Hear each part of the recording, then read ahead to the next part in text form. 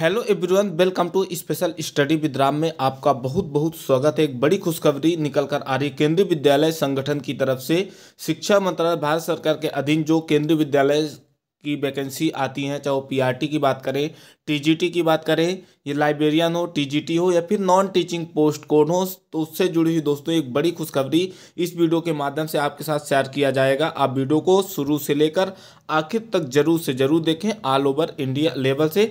जितने भी कैंडिडेट वर्ष 2024 के लिए केंद्रीय विद्यालय की वैकेंसी का वेट कर रहे थे फाइनली वो सभी कैंडिडेट चाहे महिला कैंडिडेट हो, चाहे पुरुष कैंडिडेट उन दोनों के लिए एक बड़ी ही अपडेट आ चुकी है। सबसे पहले यहाँ पे दोस्तों देख लें जो आवश्यक योग्यताएँ या रिक्वायरमेंट क्वालिफिकेशन आपके पास होनी चाहिए, चाहे पीजीटी की हो टीजीटी पीआरटी लाइब्रेरियन के लिए हो।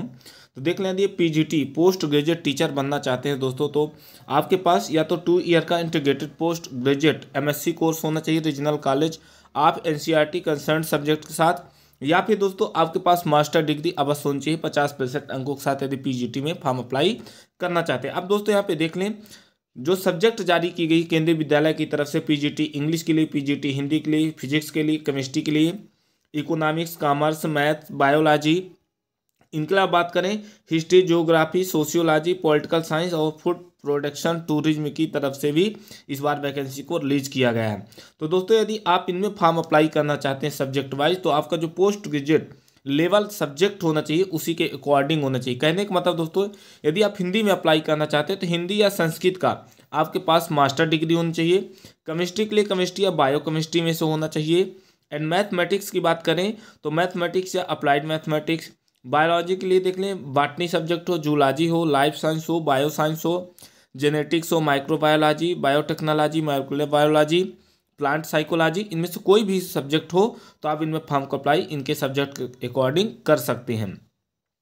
इनके अलावा दोस्तों, कई कैंडिडेटों का क्वेरी आता है कि क्या अब पीजीटी के लिए सीटेट अनिवार्य रहेगा? तो दोस्तों, अब जो नेक्स्ट वैकेंसी आ रही है, उसके लिए अवश्य ज़रूर रहेंगे। इनके लिए देख लें बीएड की आवश्यकता पड़ेगी एंड इनके लिए हिंदी और इंग्लिश का आपके पास ज्ञान होना चाहिए। अभी तक इसमें सीटेट का कोई ऑप्शन नहीं दिया गया कि सीटेट लेगा ही।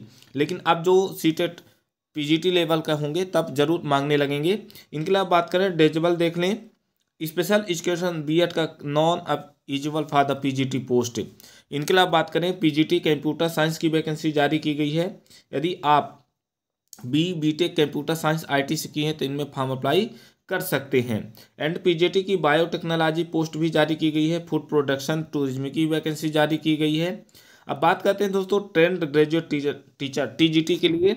या तो आपके पास चार वर्षीय कोर्स होना चाहिए, इन रीजनल कॉलेज से इंटीग्रेटेड डिग्री कोर्स या बैचलर डिग्री तीन सालों का पचास परसेंट अंकों के साथ होने चाहिए। सब्जेक्ट वाइज यहाँ पे देख लें इंग्लिश की हिंदी की एस की साइंस की, संस्कृत और मैथ। छः सब्जेक्टों में वैकेंसी जारी की और इक्कीस, इसी के अकॉर्डिंग आपकी सब्जेक्ट क्लियर होनी चाहिए, यानी कि बैचलर डिग्री इनके अलावा बात करें दोस्तों तो बीएड के सकता है pass in centre teacher eligibility test paper number first आपके पास पास आउट किए हों।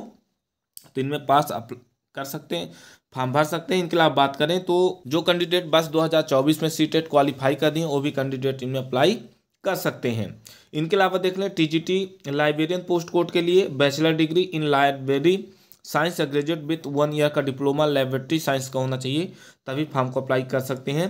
एंड बेट की देख लें डिप्लोमा इन हायर सेकेंडरी का होना चाहिए तो दोस्तों इनमें फॉर्म अप्लाई कर सकते हैं। इनके अलावा बात करें टीजीटी की पीएचई पर भी वैकेंसीज को जारी किया गया। आधार आधार देख लें, जो क्वालिफिकेशन है, सात में जारी की गई है। देख लें पीआरटी पोस्ट कोड के लिए सीनियर सेकेंडरी बारहवीं कक्षा टू ईयर का डिप्लोमा कंप्लीट हो, या बी एल वासी का हो, या टू ईयर का स्पेशल एजुकेशन का। साथ साथ में आपके पास central teacher eligibility test paper number first conduct जो सीबीएसई कराती है, उसको भी आप क्वालिफाई किए हों। तो इनमें दोस्तों आप फॉर्म अप्लाई कर सकते हैं। इनके अलावा बात करें तो स्पेशल एजुकेटर की जो वैकेंसी जारी की गई इलेवेंट्री लेवल की प्राइमरी एंड अपर प्राइमरी यानी बारहवीं कक्षा के साथ में आपने डी स्पेशल एजुकेशन का किया है, या फिर diploma in community in rehabilitation का भी सिक्स मंथ का किया है, तभी दोस्तों इनमें फॉर्म अप्लाई यहाँ पे पहली नोटिफिकेशन को देख लें दोस्तों, जो स्नातकोत्तर पीजीटी प्रशिक्षित शिक्षक टीजीटी संगणक, अंदेशक कंप्यूटर इंस्ट्रक्टर खेल प्रशिक्षक, परामर्शदाता, विशेष शिक्षक और नर्स की वैकेंसी निकाली गई है। केंद्रीय विद्यालय शिक्षक भर्ती की तरह से, यानी टीचिंग और नॉन टीचिंग पोस्ट कोड के लिए, जिसमें राजनीति विज्ञान, अंग्रेज़ी, गणित, सामाजिक विज्ञान, माध्यमिक संगठक अंदेशक, प्राथमिक संगठक अंदेशक, यहाँ पे देख लें, जो साक्षात्कार की तिथि रखी गई है, इक्कीस मार्च 2024 को रखी गई है, और इनके लिए सैलरी देख लें, पीजीटी में सत्ताईस हज़ार पाँच सौ, टीजीटी में छब्बीस हज़ार दो सौ पचास संगणक के लिए देख लें, जो माध्यमिक में छब्बीस हज़ार दो सौ पचास और प्राथमिक के लिए इक्कीस हज़ार दो सौ पचास। खेल प्रशिक्षक के लिए इक्कीस हज़ार दो सौ पचास, परामर्शदाता के लिए छब्बीस हज़ार दो सौ पचास, विशेष शिक्षक के लिए इक्कीस हज़ार दो सौ पचास, नर्स के लिए सात सौ पचास रुपये प्रति कार्य दिवस के अनुसार इनको सैलरी दी जाएगी और जो इंटरव्यू की डेट रखी गई है, इक्कीस मार्च को रखी गई है। तो जितने भी अभ्यर्थी हैं, यहाँ पे दोस्तों, इस विद्यालय में ज़रूर से ज़रूर चले जाएँ। देख लें न्यूनतम और अधिकतम जो आयु सीमा रखी गई अट्ठारह से पैंसठ के बीच में है। जितने भी कैंडिडेट हों तो फॉर्म को अप्लाई कर सकते हैं। इन केंद्रीय विद्यालय में अलग अलग काफ़ी अच्छी सैलरी दी जा रही है। जो वैकेंसी निकाली गई है दोस्तों, केंद्रीय विद्यालय डीपा टोली की तरफ़ से झारखंड में वैकेंसी निकाली गई हैं। नेक्स्ट जो वैकेंसी निकाली गई, केंद्रीय विद्यालय नंबर थ्री वायुसेना स्थल मकरपुरा की तरफ़ से निकाली गई हैं। अंशकालीन के आधार पर ही इनका इंटरव्यू किया जाएगा।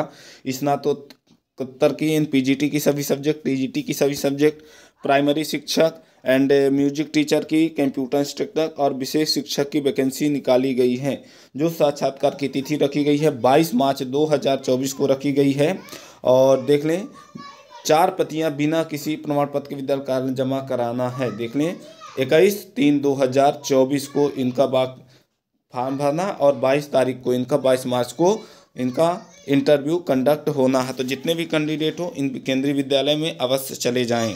इनका गूगल फॉर्म भी दिया गया Kendriya Vidyalaya number three A F S Makarpura, Buddha की तरफ़ से वैकेंसी जो जारी की गई है, जिसमें application form part of constructor teachers instructor coach special educator की वैकेंसी जारी की गई है तो इसमें सारे अप्लीकेशन में भर देना है।